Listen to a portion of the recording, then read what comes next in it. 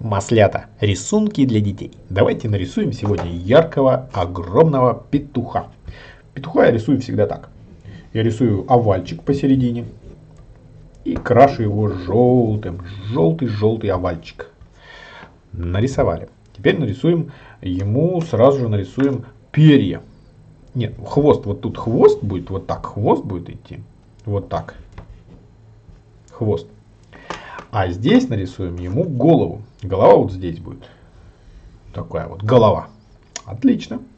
Теперь что? Для, от головы, голова соединяется с телом шеи. Вот такая вот у него тело, голова, шея, хвост. Это самые главные части петуха.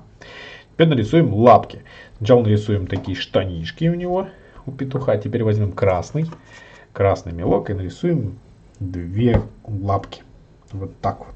Две лапки мы нарисовали. Они в разные стороны коготки у него идут. Вот так петуха шпоры здесь нарисуем. Конечно же, сразу нарисуем ему большую-большую корону, такую, я бы сказал, хохолок.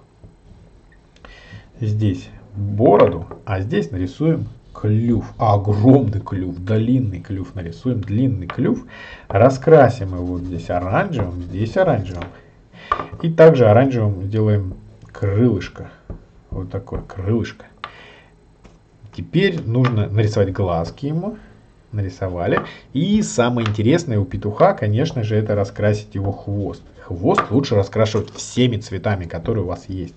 Например, у меня есть зеленый, я нарисую перышко зеленое. Есть красный, нарисую перышко красный. Есть синий, все ваши цвета попробуйте использовать, это будет очень красиво, я вас уверяю. Желтый использую. Теперь оранжевый использую.